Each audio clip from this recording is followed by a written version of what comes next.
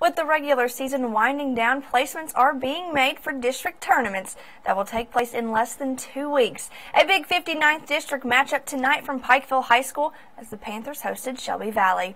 The last time these two teams met was back on January 24th when the Panthers won it 56 to 42, keeping them undefeated in the 59th district.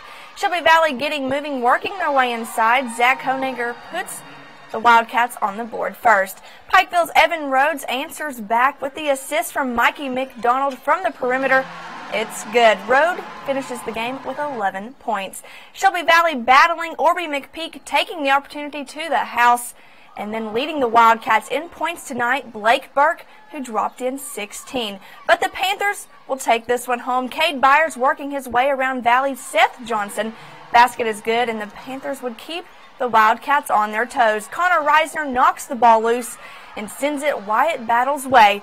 Battle would lead the Panthers to the victory, scoring 15 points tonight.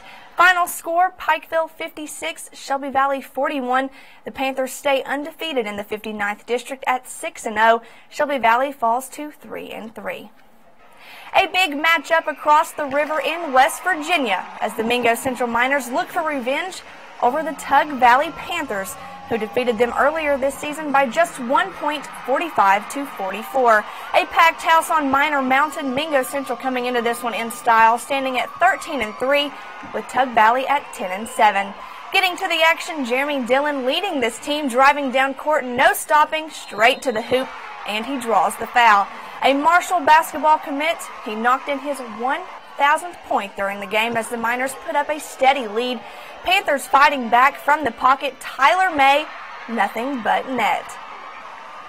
Miners with the moves now. Keyshawn Rhodes, last minute pass to Cannon Fletcher underneath the basket. Miners moving right along, but the Panthers clawing away.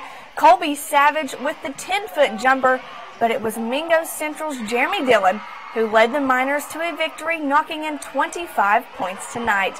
Miners win it 74 53 and improve to 14 and 3 on the season.